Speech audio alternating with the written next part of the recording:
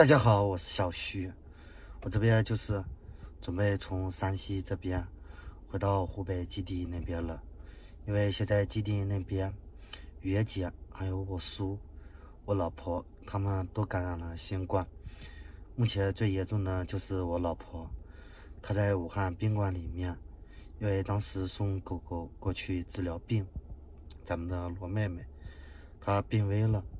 然后我老婆跟月姐把他们俩送到了宠物医院，武汉那边的。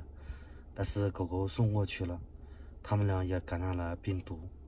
我老婆今天是感染的第四天，月姐呢在基地，就是一直在照顾狗狗，也感染了。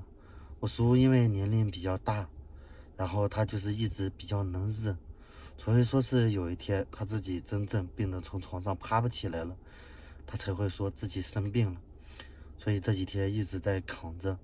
我今天打电话问了他之后，他说他也感染了，喉咙里面就是一直憋得出不上气。我老婆的话，她比较严重，因为她没有打疫苗嘛，因为当时怀孕了，所以她没有打疫苗。她这次也病得比较严重，今天已经是第四天了，她高烧还是三十九度多，全身都疼，腿疼。就是肚子里面难受，浑身难受，连爬起来的力气都没有。他自己一个人在宾馆，特别担心，因为他在宾馆出什么事情，任何人都不知道，没人在照顾他。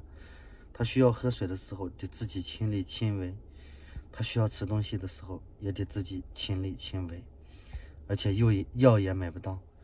我相信现在所有的人都买不到药，但是我老婆现在依然很关心着狗狗，关心着我。我老婆跟月姐都不建议我回去。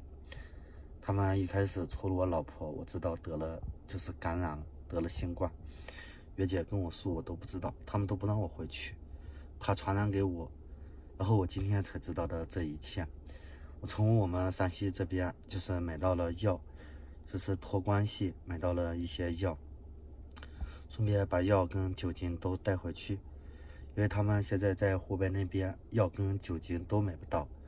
我先回去就是到武汉，到武汉把药就是给我老婆送到宾馆，然后我再回基地照顾基地的狗狗。因为现在只有我一个人是健康的，我们基地的毛孩子不能没有人照顾。我老婆她也很就是很喜欢很喜欢狗狗的那种，也许你们不懂。我们这种喜欢狗，就像咱们自己家里面自己养的狗一样，特别喜欢。在我们心中没有流浪狗，我们不会拿任何一只狗狗当成一种交易，当成一种利用来利用它们。生病我们会积极治疗。面对现在这样的情况，我们没有放弃任何一只狗，哪怕医药费很高，我们也没有放弃。我们要坚持给它治疗。而且因为这次送狗狗去医院。我老婆现在感染了病毒，现在在医院里面，在宾馆里面自己一个人扛着，一个人待着，不知道大家知不知道那种感受。然后今天我就不说了，到了湖北那边我会给大家报平安的。